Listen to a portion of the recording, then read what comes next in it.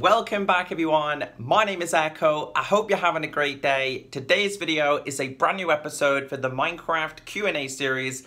And ladies and gentlemen, I've just come across an article as to why Sony do not want to do cross-platform play with Xbox and Nintendo.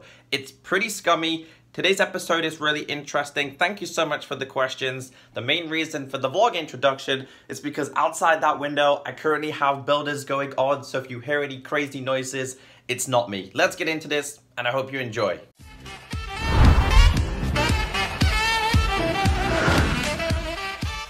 Guys, as I explained, if you do hear any loud banging or mechanical sounds, it's not my fault, there's builders outside of my house. But let's get into this video because I do have some interesting information as to why Sony do not want to do cross-platform play. Remember Sony's motto, for the players. They should change their motto for their bank account. So an ex-Sony employee kind of wrote some information online to a very, very popular gaming news website, and I'll leave that article down below. And this is what it says. There's a very good, if obvious, reason why Sony is not allowing cross-platform play with Xbox or Nintendo.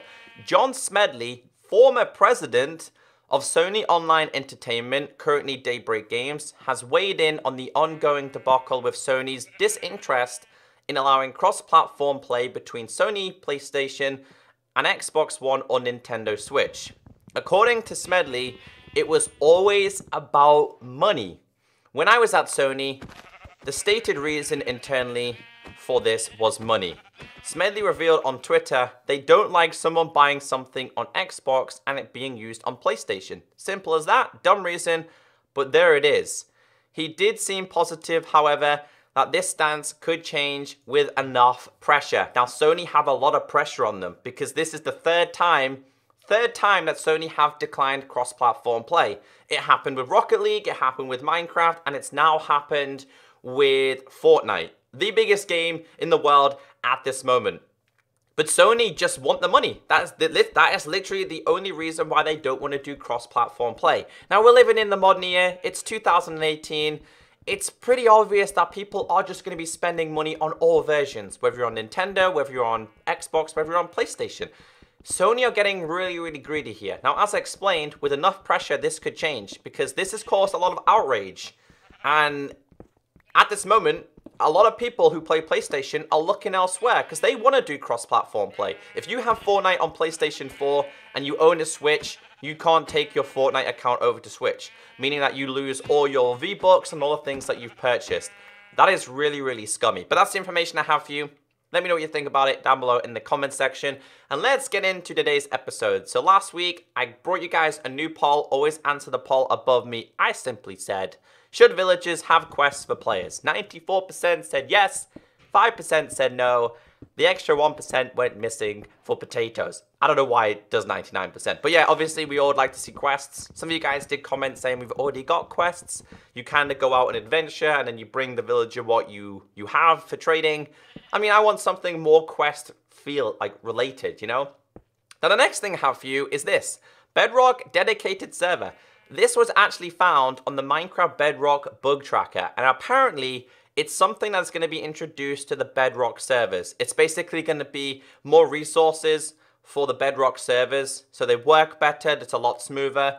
I've kind of stopped playing the Bedrock servers because they're really buggy, they're really laggy, and everyone disconnects from the game. So it looks like the developers are introducing something pretty smart for the developers, which I think is a pretty good thing. Now, the first question we have today, not really a question, but more of a comment, coming from Real Ben MC. So the nitwit is an unemployed villager.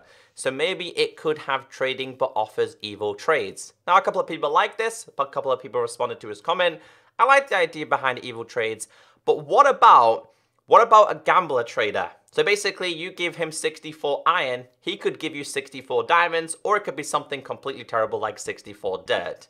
It's kind of like the risk taker. I kind of like the idea behind that. It's the nitwit. He's unemployed. He's got to make money somehow. So maybe he could do like different trades.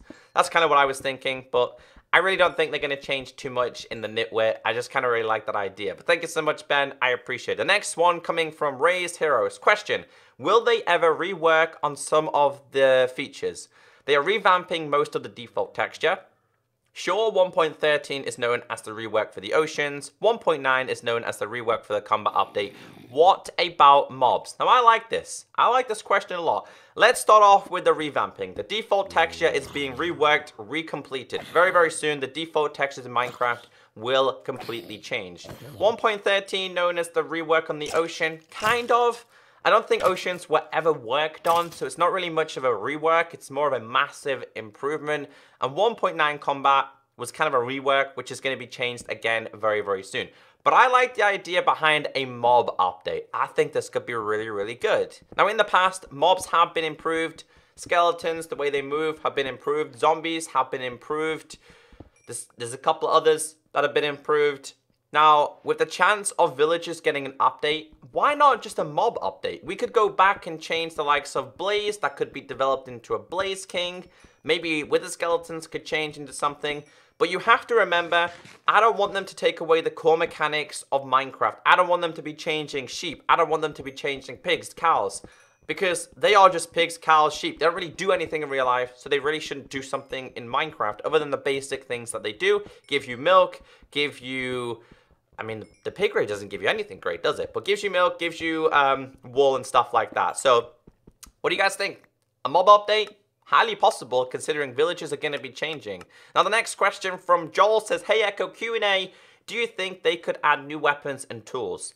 And what do you think with that update, maybe some new ores. I think that the ore in Minecraft is really boring. What do you think? Now, with the possibility of getting a cave update, if they do introduce a cave update, I 100% support getting an ore introduced to Minecraft. Whether that's one ore, two ores, or three ores, just one ore could change Minecraft forever.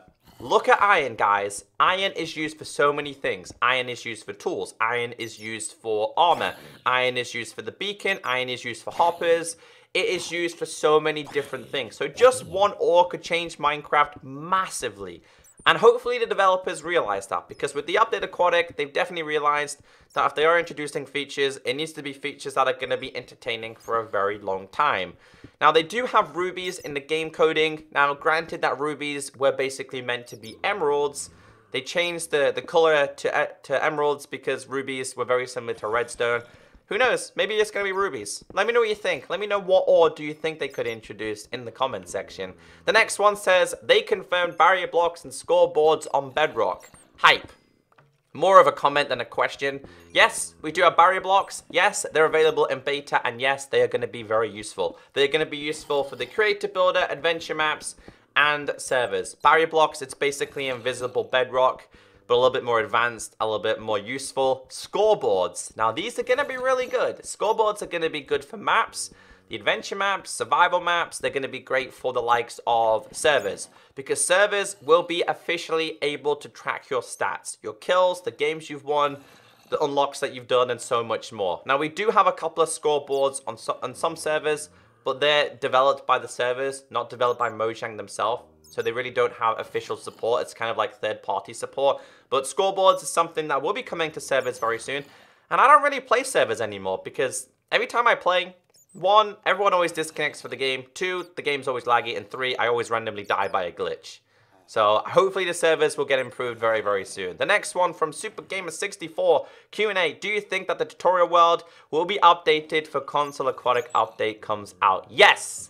I think 4J Studios will introduce one last big aquatic update um, tutorial world. The reason why is the aquatic update is going to be the last ever update on Xbox 360, PlayStation 3, PS Vita, and Wii U. So they're going to introduce a brand new tutorial world. It's definitely going to happen. So uh, yeah, they're going to go out with a bang, introduce the aquatic update, introduce a new tutorial, and probably introduce something different as well. But yes, it's going to be pretty cool to check out because the tutorial world has come a very long way. The next question from Landon. Ecko, please answer. What happened to the coral slabs that we seen in the trailer for the update aquatic Q&A? This is a good question, this. And this is where Mojang don't realize that when they introduce a trailer, we literally look at every single frame, every single detail. They did have coral slabs in the trailer. They were never officially introduced. Now, this question was asked towards Dinnerbone and Jeb they said that they were just there for placeholders for the trailer. Kind of like misunderstanding, really, because everybody would have liked the coral slabs.